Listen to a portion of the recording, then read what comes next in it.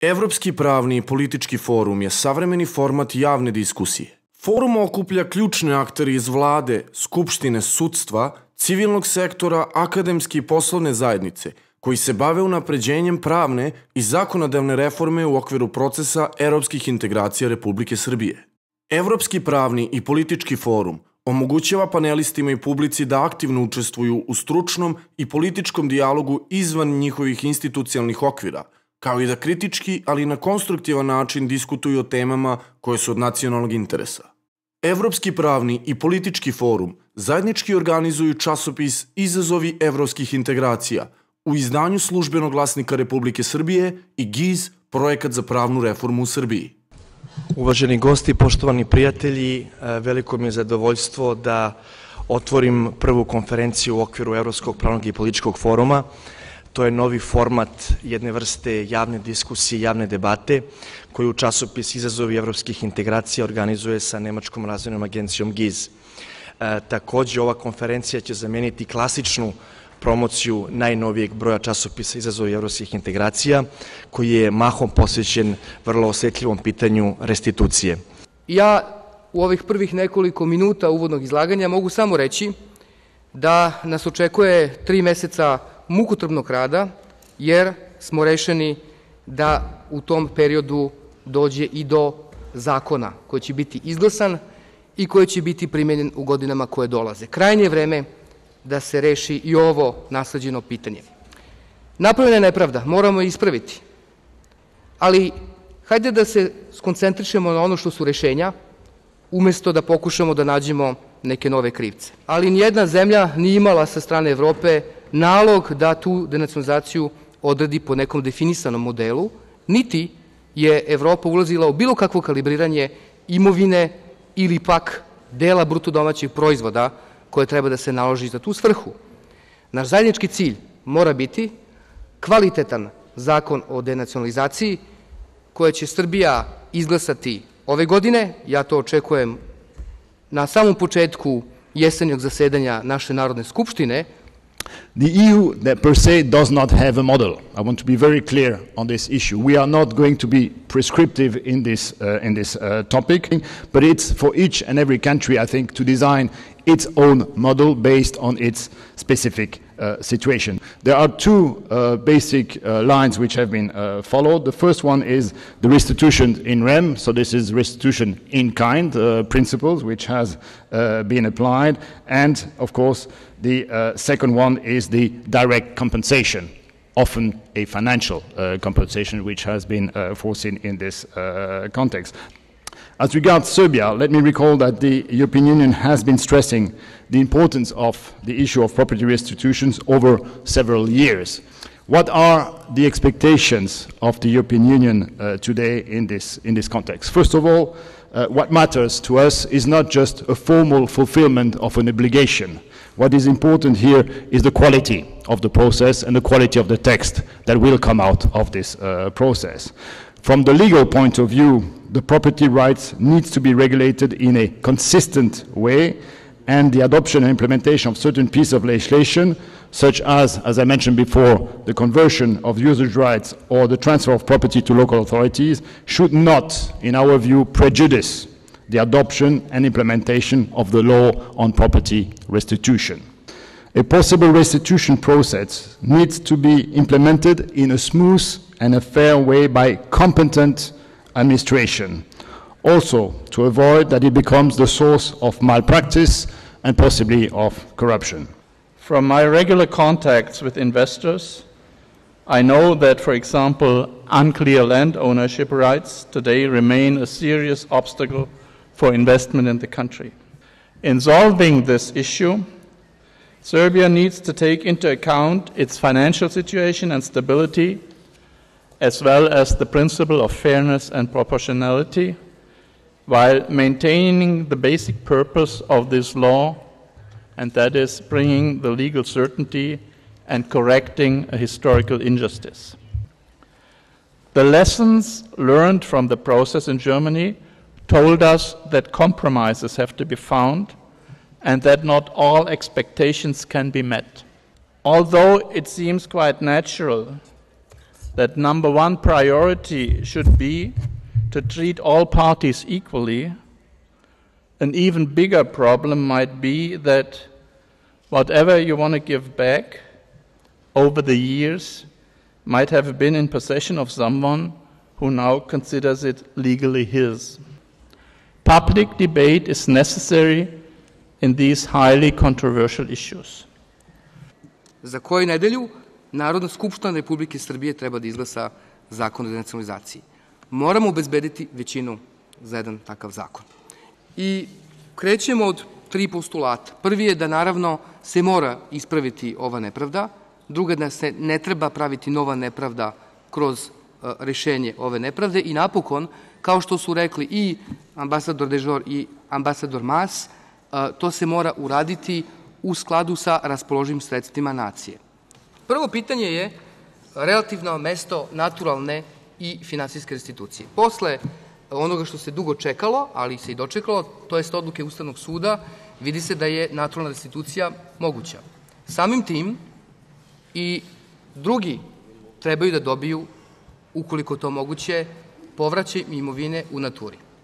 U onom momentu kada se ustanovi šta je ta naturalna imovina koja se može vratiti, postavlja se pitanje koje često mjeni postavljaju, kroz predstavniki direktno, oni koji očekuju povraćaj imovine, to je da ukoliko nije raspoloživa ta imovina, da li se može vršiti obeštećenje kroz takozvanu substituciju.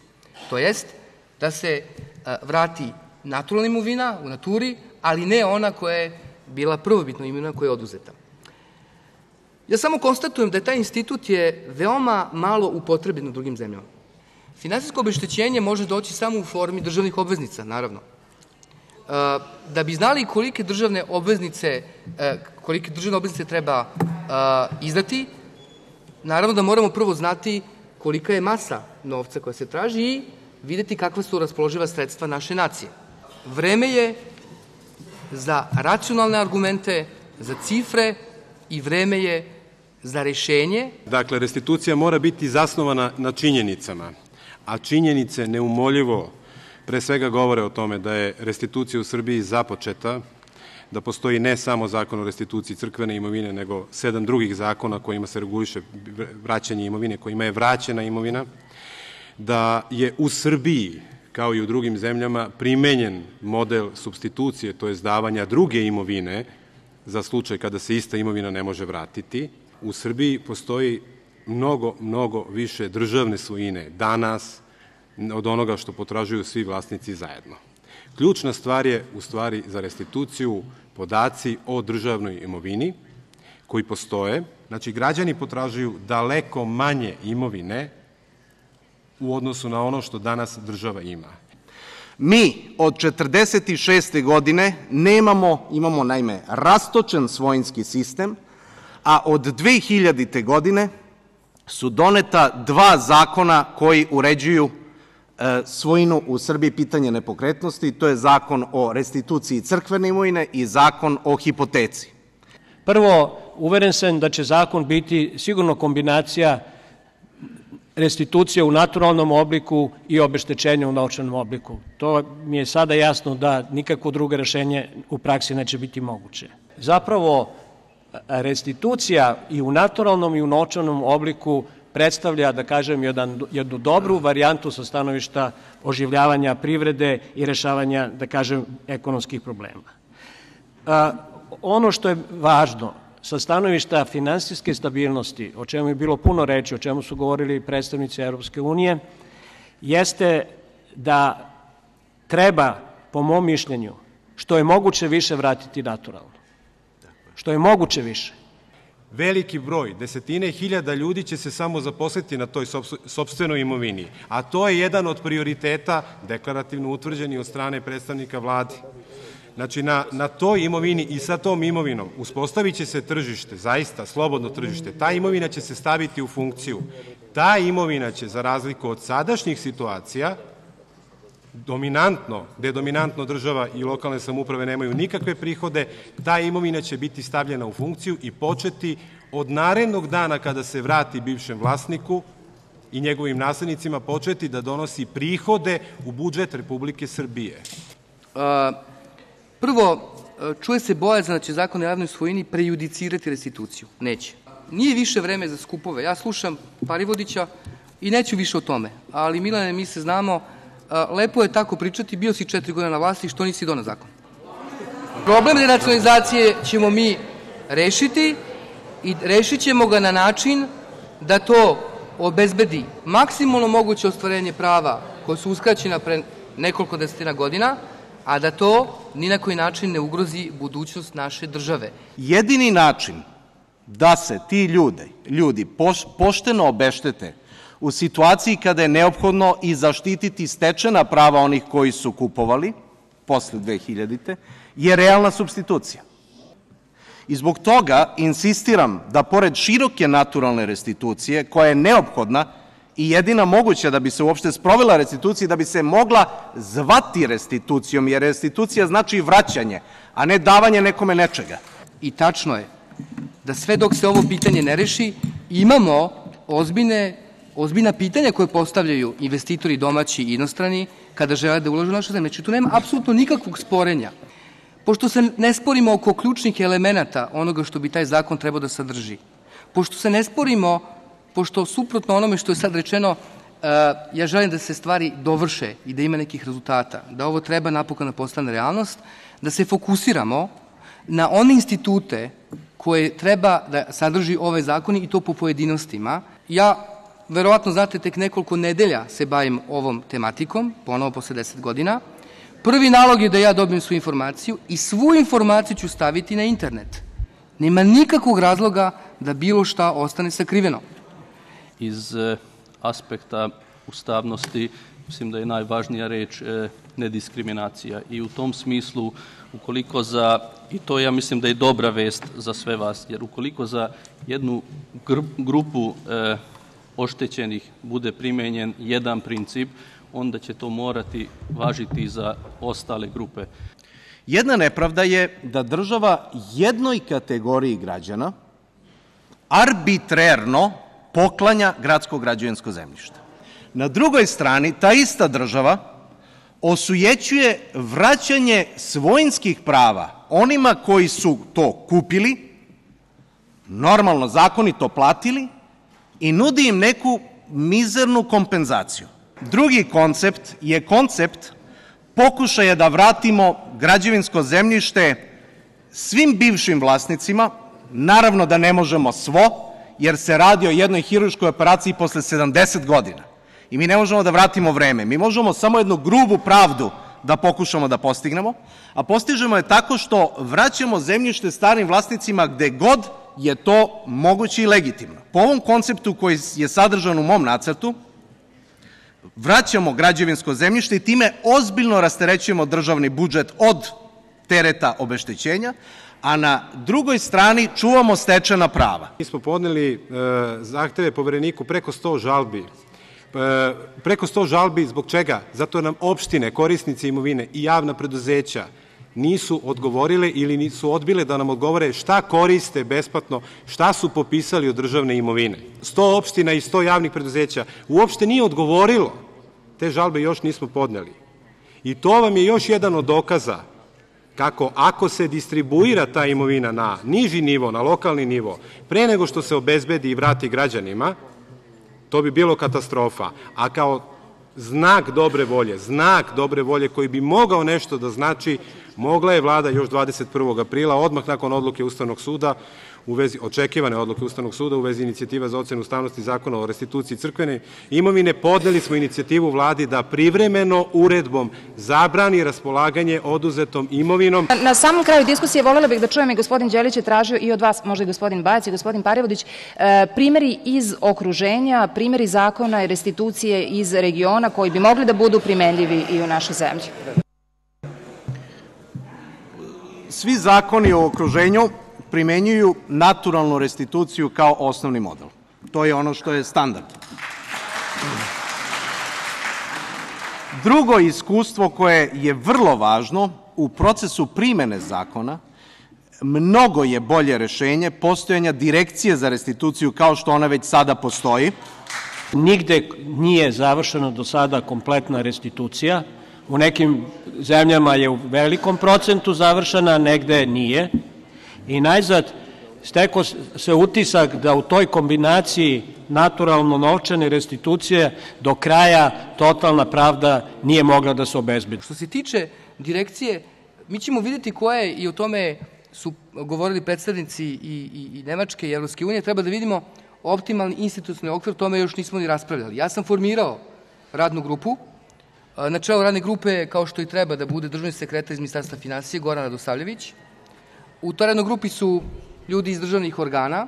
Oni nemaju kao cilj niti zaduženje da odrede principe zakona. To je nešto što će se dešavati u ovakvim kontaktima i na političkom nivou, a posle njihovo zaduženje će biti u roku 90 dana da pripreme prvo, do letnje pauze, nacrt zakona za javnu raspravu. Ja želim da ona ne traje manje od mesec i po, ako je moguće i dva meseca, da onda se nacrt utvrdi na vladi i pošalje po redovnom nehitnom postupku na usvajanje Narodnoj skupštini. Što se tiče rehabilitacije, po sudskoj odluci, onaj ko je rehabilitan ima pravo na, na, na restituciju, na, na denacionalizaciju, da. To će biti predviđeno u ovome zakonu. Smo se kao organizacija vama obraćali, evo tu su vam u prilogu pisma dva puta, molili smo da nas primite, imamo konkretna rešenja, konkretne prelog, evo, predloge, konkretne akcije, molim vas, nismo odgovorili odgovor, evo tu su vam pisma od marta meseca i od pre 15 dana. Nismo do danas dobili odgovor. Dakle, imamo konkretne dokaze i e, modele kako se krala državna imovina tokom procesa privatizacije. Sva oduzeta imovina je, e, je morala biti po zakonu iz 95. godine od strane preduzeća koje su, držala, koje su je držala, morala je biti prijavljena i registrovana kao državna svojina. Bez validnih papira je puštena u privatizaciju, nije ni procenjivana po punoj vrednosti. Imate tu uh, dokumenta, imate pismo koje nam je dala gospođa Mira Prokopjević gde kaže da ta imovina nije predmet prodaje, znači ona ostaje u statusu korišćenja. Takođe, Takođe imate i jedan model ugovora koji kaže da je kupac, da je svestan da se u tom preduzeću nalazi oduzeta imovina i da će postupati po zakonu o restituciji i čuvati je u statusu takom. E, imamo i procese koje vodimo jer su se kupci takve imovine putem falsifikata knjižili kao vlasnici. To su krivična dela i e, mi insistiramo da svi koji su na nezakonit način i putem manipulacija, a da sad ne elaboriram, da je i čitav ovaj zakon o planiranju izgradnji sa, sa ovom nesrećnom ovaj, e, konverzijom otvorio širom vrata za korupciju, za kriminal i za cirkus. Oba nacrta zakona se nalaze u istoj fazi, dakle i što se zakon o javnoj svojini tiče i što se zakon o restituciji tiče, radi na nacrtu zakona i s obzirom na tajming o kojem je potpredsednik vlade govorio i s obzirom na činjenicu da je i zakon o javnoj svojini praktično e, jedan od poslednjih evropskih zakona potreban za kandidaturu, mislim da su dobre šanse da ta za, dva zakona da se donesu istovremeno. Da je gotovo nemoguće ispraviti nepravdu prema ljudima koji 70 godina čekaju da se ta nepravda ispravi jer jednostavno, kakav god zakon doneli, to je moralno pitanje koje nikad i nikad neće na ljudima nadoknaditi ono što su oni izgubili, to je što žive već 70 godina kao građani drugog reda. Zato su i nekorekne i paušalne procene u vezi sa iznosom koje imaju za cilj da zaplaše druge, to jest većinu za koja bi možda trebala da glasa za one koji će dobiti vlast. Nažalost, to dolazi od državnih, velikih državnih zvaničnika, na prvom mestu od gospodina Ilića. Treba takođe reći da kada govorimo o zakonu, o samom zakonu, ne vidim uopšte razlog zašto bi se toliko pričalo o raznim verzijama zakona kada imamo zakon o crkvenoj svojini koji treba samo da se dopuni i da se primeni i na građane, jer ovakav način, ovakva situacija kako imamo do sada u stvari predstavlja diskriminaciju prema svim građanima. Takođe treba reći, to mi je žao što gospodin Đelić nije ovde, da čuja i da sam potvrdi, da od donošenja zakona o restituciji najveću korist ima upravo država, jer će samo 20% imovine koja se vraća vlasni, samo 20% imovine će se vratiti vlasnicima od celokupne imovine, imovine koja se potražuju. Znači, država će na svoje ime uknjižiti 80%, 80% zemljišta i, i svega onoga što se potražuje i prvi put na jedan normalan način nastupiti pred stranim i domaćim investitorima. Budimo pametni kada, napravimo, kada pravimo taj zakon, jer ga moramo sprovoditi, a imamo iskustvo da Srbija nekad lako donese zakon, a posle ga vrlo teško sprovodi. E, ja bih takođe hteo da se zahvalim svim prisutnima, našim organizatorima i domaćinima, naravno voditeljki, ovaj, ali najvažnije od svega, znači nemojte da zaboravimo, e, važno je da budemo precizni i da gledamo na kraju krajeva, da, da hvatamo čak i za reči ono što su govorili i predstavnici vlade. Dakle, e, da se radi vrlo intenzivno, znači, ne, naravno, mi ćemo insistirati na tome da se zakon o javnoj svojini ne donese. Insistirat ćemo na tome da vlada uredbom privremeno zabrani raspolaganje oduzetom imovinom, zato je to najmanji znak i pokazatelj dobre volje, najmanji pokazatelj dobre volje.